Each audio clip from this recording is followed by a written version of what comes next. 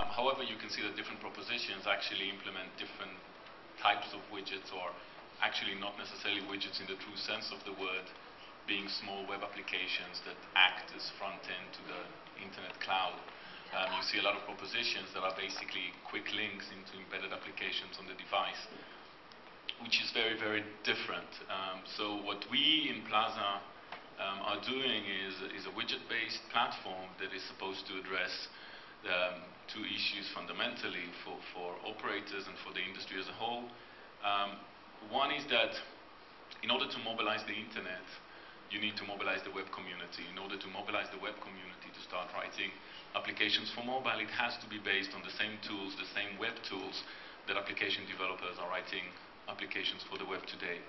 So, so uh, Qualcomm and Plaza is all about using web standards in order to allow this conversion, in order to allow easy migration of web developers to start creating those mobile applications. And the second is very, very important because mobilizing the internet is not only creating an embedded application of an internet service, it's also about mobilizing the business paradigm of the internet, which is free in return to in return for B2B revenues. And the whole point is that we are trying to provide operators with ability to derive new revenue streams, new business-to-business -business revenue streams. So those are based on advertising, etc. We believe that widgets are fundamental here because, especially on mass market devices, this is not necessarily a, an iPhone hype. There's a lot of hype around the niche devices, but we believe that mobilizing the internet and mobilizing the business paradigms of the internet is addressing the mass market. So the mass market, the same as the internet companies are making money and monetizing their unique eyeballs, we believe that operators have the same opportunity to monetize their subscriber base. And that means that widgets are a very interesting opportunity here because widgets represent new real estate on the device. So this is no longer a real estate which is only the, the, the portal, the operator's portal. This is new real estate. This is new discovery of services. This is new ecosystem that can be created using this conversion of web developers to write mobile. And this new ecosystem and new real estate is very targeted because each one of us have different web preferences, different content providers that they would like to have. And the, the internet represents an ever-changing web preferences. Those web preferences represent very targeted potential advertising and B2B revenues. Can so I just clarify something when we say the widgets, you mean that these are on the home screen? These widgets are on the home screen. Otherwise, how are they, and, and, and who is who is managing the monetization of those? Because is it the operator or is it the revenue share? How does it compare with your other stuff like app stores? This this could be this could be on the home screen. This could be as an application. This could be again all depends on device capabilities, the operator's interaction with the OEMs, etc. There are certain OEMs that are opening APIs to the home screen. There are certain OEMs that have different strategies. So it could be a mix of it. I think again the whole idea is that there is opportunity in mass market devices for the internet and for B2B monetization and new revenue streams. And, and we, we tend to neglect that, and I think that's what Plaza is trying to do. So trying to create this long tail of ecosystem, internet-based ecosystem for mass market devices. Okay, the same, same sort of perspective to, to, to Ryan. Um, the question being that how do you, uh, how do you monetize and, and how do you compare with what's already out? So the question is for me, right? Uh, yes. Yeah. So, so basically, our, our view is um, um, there, there, are some similarities to that, but the, the difference, I think, is the value we bring to the social dimension. Our view is that um, on the fixed web, the traditional web, uh, there's lots of times where you click on a link in an email and you discover a site or you go to a site which you wouldn't have necessarily gone to on your own. Uh, it doesn't exist on mobile.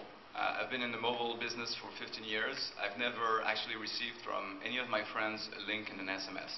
So we believe there's a fundamental dimension to that, which is uh, a social media dimension, which is basically getting traffic uh, through the community.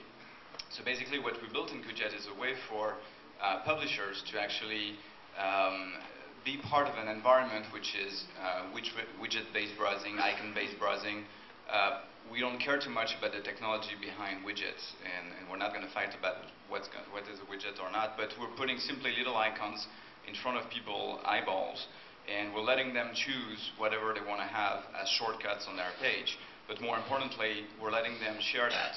So now suddenly you're in an environment where if I like this uh, piece of news in Time Magazine, uh, a video on YouTube, uh, a joke that I found on a, on a joke site, I can share that with my friends, and suddenly you get a totally different dimension to the traffic those sites are getting. So we're, not too much thinking in terms of mobile content doesn't exist.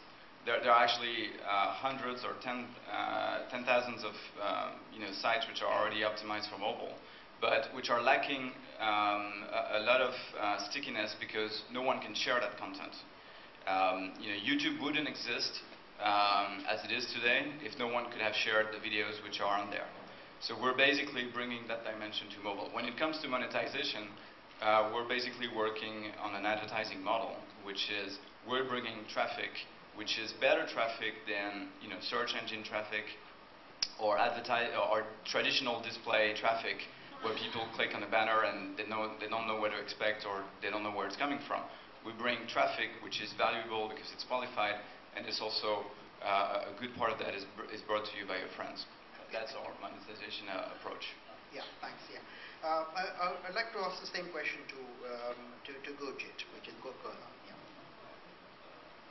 Uh, to, so, oh, to I wanted to ask the, the same question to to, to Gurjit. Uh, that I'm Jit. Sorry, sorry, sorry, sorry.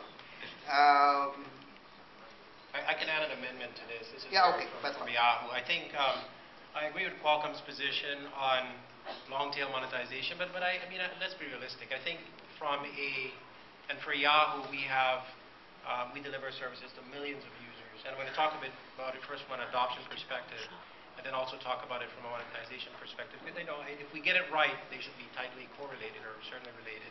Um, on the adoption side, I mean, there is over-indexing, certainly in our experience, um, there is over-indexing for certain, you know, um, uh, data adoption rates on certain platforms, clearly. Um, I think for us, and certainly in our uh, announcement today, our response to what I would consider the long tail in terms of reaching devices is really uh, another iteration of our Yahoo Go, which is uh, which is really just, we're just calling it at this point Yahoo Mobile for smart device or smartphones. And, and, our thinking on that is there's clearly using a widget framework, and for us, a widget framework is simply enabling uh, whatever experience you want on the web um, or on the mobile web, easily brought into a highly discoverable experience on a mobile device via proliferation of, of these widget experiences that go deep enough to make them meaningful. So whether you're drilling deep into your friends list,